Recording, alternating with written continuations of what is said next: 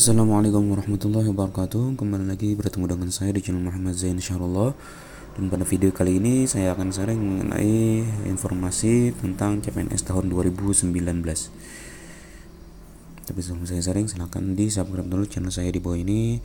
Dan jangan lupa like, like share, dan komen uh, video saya ini. Semoga bermanfaat dan semoga berita ini inspiratif Oke baik. Langsung saja uh, untuk uh, informasi CPNS ini berdasarkan uh, media sosial dari akun BKN ini sudah saya download filenya ya ini adalah beberapanya di antaranya ini.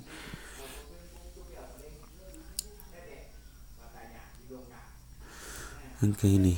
Ini surat resmi dari website BKN ini silahkan dibuka sendiri atau ke sosial medianya baik itu Instagram, Twitter atau Facebook. Ini uh, sedikit saya bacakan penerimaan CPNS tahun 2019 diumumkan tanpa formasi administrasi. Penerimaan calon PNS tahun anggaran 2019 ditangani dan diumumkan oleh Menpan RB melalui pengumuman nomor B garing 1069 garing M titik SM titik 01 titik 00 garing 2019 tentang informasi penerima jamaah tahun 2019 yang pemerintah pusat dan daerah pada Senin tanggal 28 Oktober 2019. Pengumuman tersebut akan diikuti oleh pembukaan pendaftaran secara daring online melalui laman https dual garing garing SSCNBKN Go ID nah ini situs websitenya silahkan nanti dibuka. E, mulai tanggal 11 November. Nah jadi kita garis bawahi pendaftarannya akan dimulai tanggal 11 Oktober. Eh 11 November 2019 Nah, dokumen yang perlu disiapkan per lamar untuk diunggah ke portal SSN di antaranya KTP, KTP asli. Nah ini KTP asli ini kalau biasanya seperti tahun-tahun sebelumnya untuk pengunggahan KTP, foto, ijazah transkrip dan lain sebagainya itu kalau nggak salah di bawah 2 MB. Nah, berkaitan dengan ini silakan buka di link atas. Di situ saya sertakan bagaimana cara untuk meresize atau memperkecil ukuran KTP asli, foto, foto ijazah dan transkrip nilai asli serta beberapa dokumen penting lainnya yang dipersyaratkan oleh instansi. Nah itu di sini di video saya sini eh, ada caranya untuk um, memperkecil ukuran foto atau mengubah background foto atau juga um, men-scan dengan menggunakan aplikasi saja. Nah silahkan klik di link di atas itu ada beberapa agar teman-teman itu mudah mengukuran itu di bawah 2 MB.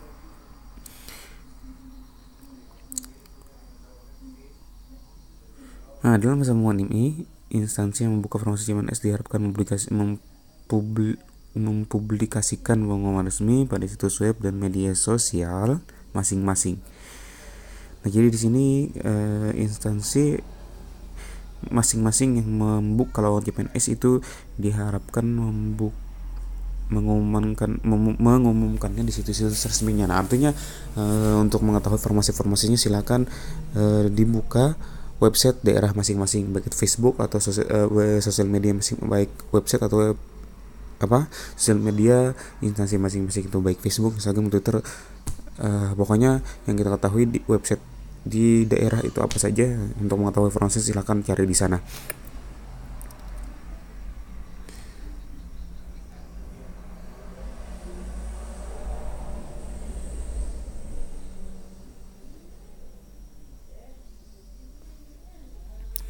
Dan di selanjutnya kami perlu sampaikan bahwa saat pendaftaran daring telah dibuka, masyarakat diharapkan terlebih dahulu membaca dan memahami segala ketentuan pendaftaran yang akan tertuang pada portal SSCASN. Jika ditemukan kesulitan, pelamar dapat mempelajari informasi yang tertuang pada kanal Frequently Asked Question FAQ yang menyediakan jawaban atas persoalan yang umum terjadi menjadi kendala pelamar. Nah, di sana biasanya itu ada FAQ-nya kalau pengalaman tahun-tahun sebelumnya itu ada FAQ-nya jadi kita bisa buka di sana untuk melihat permasalahan-permasalahan yang kita hadapi. Dan biasanya di sana sudah ada langsung jawabannya. Nah, tapi seandainya FAQ tidak dapat memberikan jawaban atas persoalan pendaftaran BKN, menyediakan kanal help desk, help desk daring dalam portal dapat dijadikan sebagai media pengaduan. Nah ini kalau tidak ada jawaban dari pertanyaan teman-teman bisa ke help desk-nya. Di sana juga ada biasanya disertakan.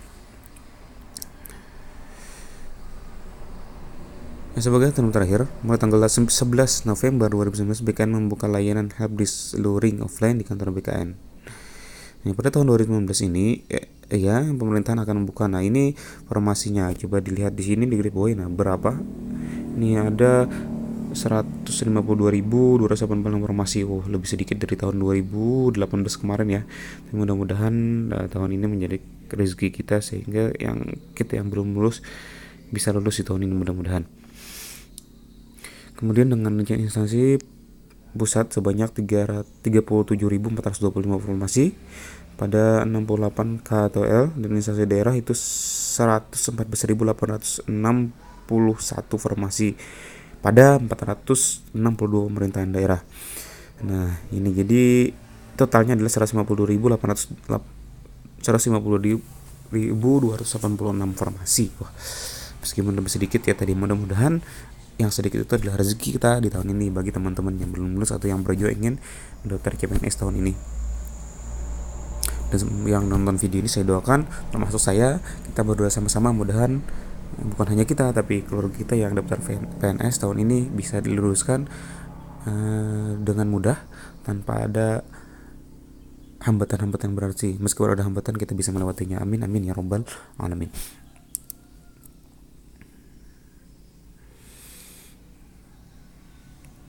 Formasi khusus meliputi kemlot, dispora, dan disabilitas organisasi pusat daerah serta formasi khusus putra-putri Papua dan formasi lainnya yang bersifat strategis pada instansi pusat. Sedangkan informasi jabatan yang dibuka adalah tenaga pendidik, kesehatan, dosen, teknis fungsional, dan teknis lainnya. Nah, tiga besar formasi pada CMS kali ini adalah guru. Nah, ini tiga besar dijelaskan oleh BKN, di mana uh, formasinya itu yang terbanyak itu ada tiga.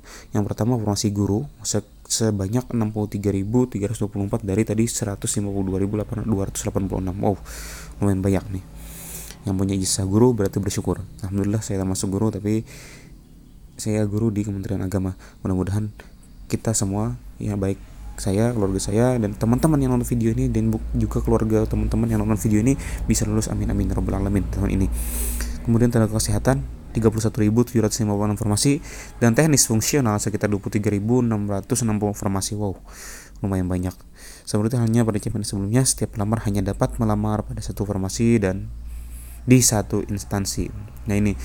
Jadi sebelumnya sama seperti sebelumnya kita hanya bisa memilih satu formasi dan satu instansi. Jadi pilih e, dengan benar ya. Kalau menurut pengalaman dari teman-teman itu uh, pilih tempat yang strategis yang menurut analisa teman-teman itu tidak ada yang daftar. Siapa tahu di sana cuma teman-teman sendiri yang daftar di sana. Dan meskipun nilainya rendah tapi sesuai dengan uh, batas minimum maka insya Allah teman-teman bisa lulus. Seperti ya pengalaman teman-teman saya yang udah lulus beberapa orang. Meskipun nilainya tidak sampai passing grade tetapi nilainya menembus batas minimum untuk pendapatan umum dan akhirnya kan rezeki dari Allah Subhanahu wa taala juga sebenarnya sih maka teman-teman saya itu lulus alhamdulillah. Itu jadi perlu strategi untuk mendaftar CPNS ini. Nah ini ada di garis bawahi lagi perlu diketahui bahwa pada pelaksanaan CPNS 2019 bagi pelamar yang dinyatakan tidak memenuhi syarat TMS nah seleksi administrasi. Nah jika teman-teman nanti kata BKN itu TMS seleksi administrasi diberikan waktu minimal tiga maksimal. Oh, waktu maksimal tiga hari untuk pasca pengumuman dan instansi diberikan waktu maksimal tujuh hari untuk menjawab sanggahan tersebut. Nah misalnya uh, menurut pemahaman saya misalnya ini teman-teman tidak memenuhi syarat untuk administrasi tapi mudah-mudahan kita semua memenuhi syarat administrasi, memenuhi syarat administrasi. Amin amin ya robbal alamin Nah, ini bisa untuk menyanggah ke daerah masing-masing. Biasanya ke BKD lah. Biasanya ke BKD masing-masing. Maksimal tiga hari kita setelah ada pengumuman itu.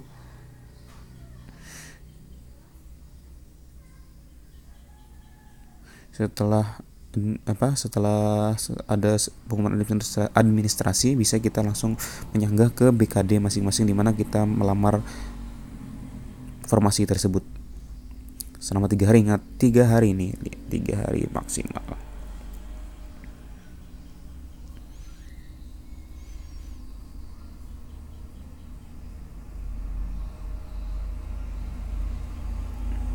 Kita tiga hari kemudian instansi atau BKD-nya itu bisa diberikan waktu maksimal 7 hari untuk menyanggah jawaban tersebut.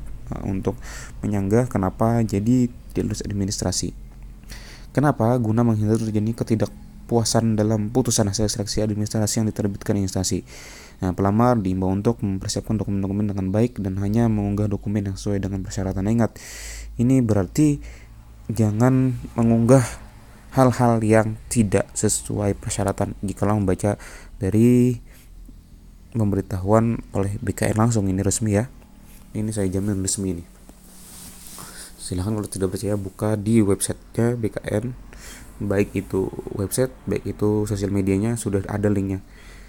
Nanti di bawah sini saya sertakan juga linknya untuk teman-teman yang siapa tahu mau mendownloadnya untuk membacanya lebih jelas lagi. Nah kemudian saya juga dapat informasi mengenai ini adalah rincian usulan tapi ini saya tidak dapat linknya. Bukan. Ini tidak ada linknya berkaitan dengan jumlahnya. Ini nih dari Menpan.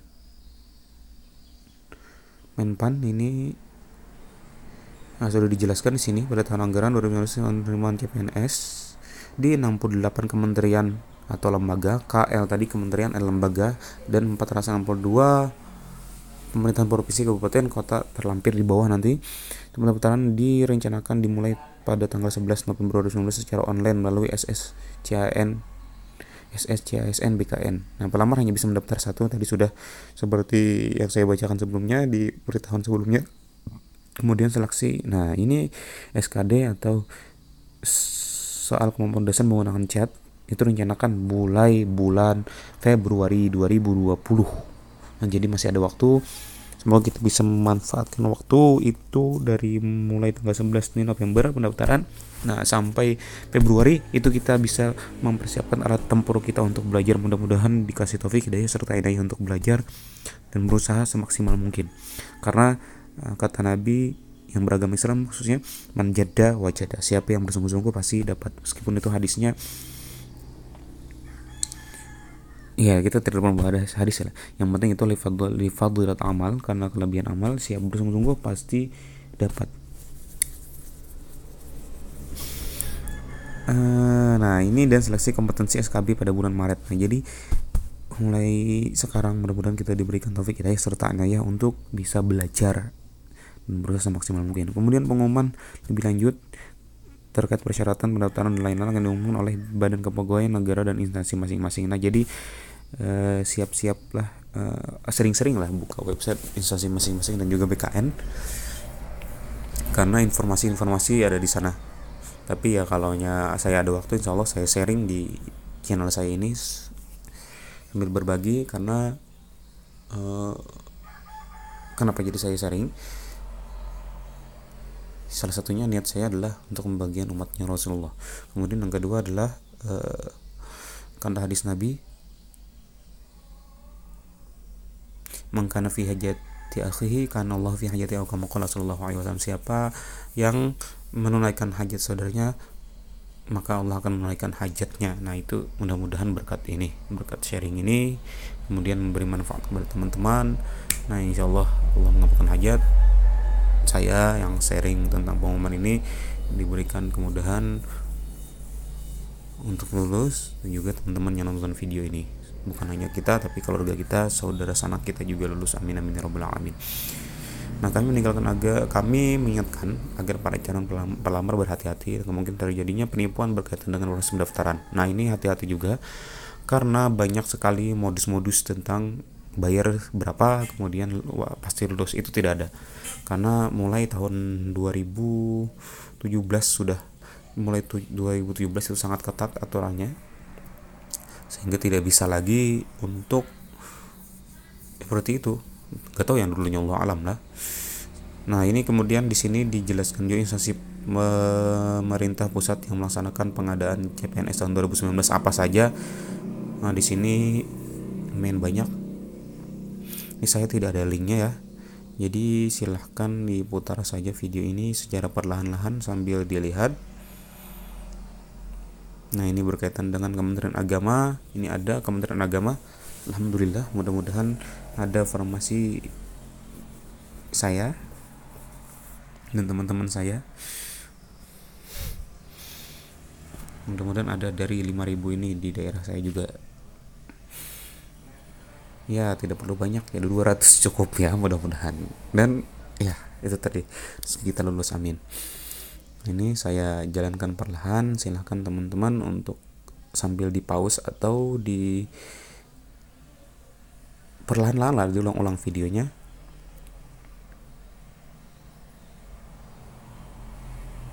Lumayan di sini. Nah, instansi pemerintah daerah ini daerah ada 114.861 formasi. Lumayan ini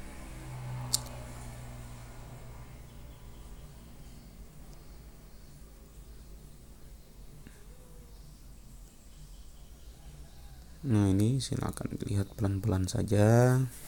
Berarti lagu pelan-pelan saja.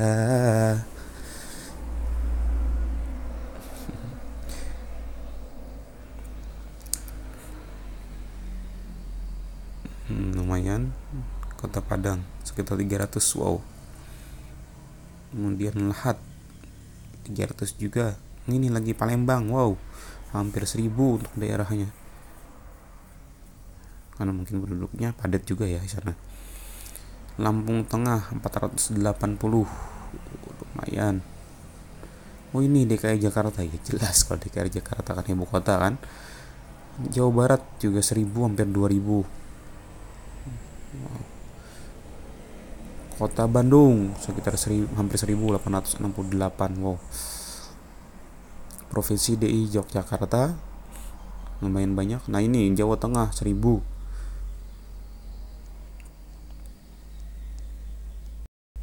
Hmm, mana ya daerah saya? Saya sambil juga nih lihat daerah saya ini. Provinsi Jatim seribuan, wow hampir 2000 yang paling banyak di Mojokerto. Kita 725 oh.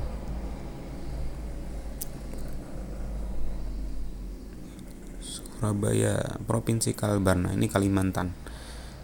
Nah, mulai Kalimantan. Saya di Kalsel Kalbar kalau provinsinya 300 uh lumayan banyak. Ya nggak apa-apa ya. Mudah-mudahan banyak dan kita termasuk orang yang lulus tahun ini. Amin amin ya robbal alamin. Kita banyak berdoa saja tapi jangan hanya berdoa juga ikhtiar. Berusaha semaksimal mungkin mudah-mudahan diberi taufik hidayah dan diberikan jalannya supaya lulus. Biasanya Allah itu tidak akan memberikan sesuatu bukan karena sebab. Artinya semua sesuatu yang terjadi pada kita ada sebabnya kita dikehendaki oleh Allah lulus berarti sebabnya insya Allah kita diberikan taufik hidayah serta lainnya yang belajar. Nah ini kalsel. Oke ini yang saya tunggu-tunggu. Di Kalsel wah lumayan banyak ini untuk Kalsel. 460 di provinsinya. Kemudian di kabupatennya Banjar 273 Tanah Laut 182 Tapin wah ini daerah saya ini. 218 Hulu Sungai Selatan oh banyak juga ini. 261 wah HST yang paling banyak ternyata sepertinya di kabupaten ya untuk di kabupaten HST yang oh, ya HST yang paling banyak. Sekitar 290 292 wow lumayan nih bisa banyak teman-teman yang dapat ke sana ini.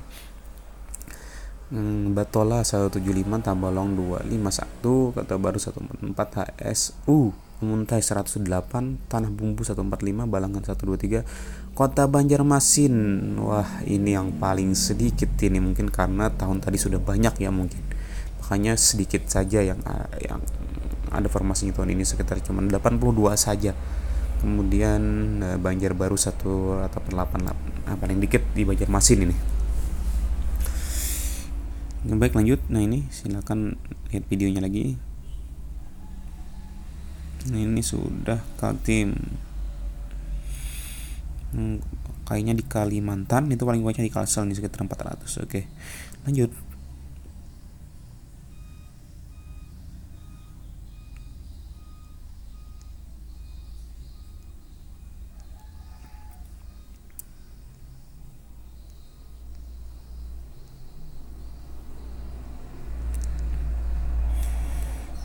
Nah, ini hampir habis. Provinsi Sulawesi Tenggara, Provinsi Nusa Tenggara Barat, Nusa Tenggara Timur,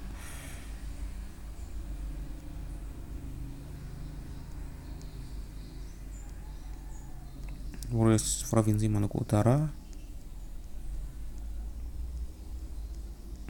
eh habis. Terakhir adalah Kabupaten Tanah Tidung dari Provinsi Sula uh, Provinsi Kaltara Kalimantan Utara. Cuman dua kabupaten ini yang ada ya. Malinau dan Tanah Tidung. Lumayan banyak. Tapi ya, saya masih bingung ini. Oke, cuman dua saja ya. Berarti dua kabupaten saja di sana yang ada mungkin. Oh alam saya kurang tahu juga nih. Nah ini mungkin uh, sharing informasi mengenai CPNS tahun 2019 jadi untuk yang ini untuk yang jumlah-jumlahnya silahkan di apa di diputar-putar ulang saja videonya perlahan-lahan. Karena saya tidak ada linknya juga ini dari share-share uh, teman-teman di uh, apa share-share baik itu kepala dinas di daerah saya kemudian termasuk punya jabatan tinggi di sekolah saya ini. Saya kurang tahu sih semoga saja ini resmi. Nanti saya coba cek di websitenya di Menpan atau sosial medianya. Semoga ini benar yang ini. Tapi yang jelas yang depan tadi itu benar yang ini. Nah ini langsung dari SSCN silahkan kalau tidak percaya eh, dibuka di websitenya. Ini resmi. Di linknya ada di bawah. Oke sekian dari saya Muhammad Zain tentang informasi KPNS tahun 2019 semoga di tahun ini kita termasuk orang yang diberikan rezeki oleh Allah Subhanahu wa taala menjadi bagian dari CPNS yakni ya lulus tahun ini. Bukan hanya kita tapi keluarga dekat kita anak istri kalau punya anak sudah gede ya. Kemudian eh, saudara sanak dekat kita dan orang-orang yang kita harapkan lulus kita doakan mudahan lulus semua. Amin amin ya robbal alamin. Saya Muhammad Zainurullah salah khilaf maaf. Sekali lagi saya mohon bantu terus channel saya ini dengan subscribe, like, share, dan komen, dan juga share video-video saya. Saya Muhammad Zainullah, sekali lagi saya mengucapkan salah khilaf, mohon maaf. Kita akhiri dengan sama-sama membaca Alhamdulillahirabbil alamin. Wassalamualaikum warahmatullahi wabarakatuh.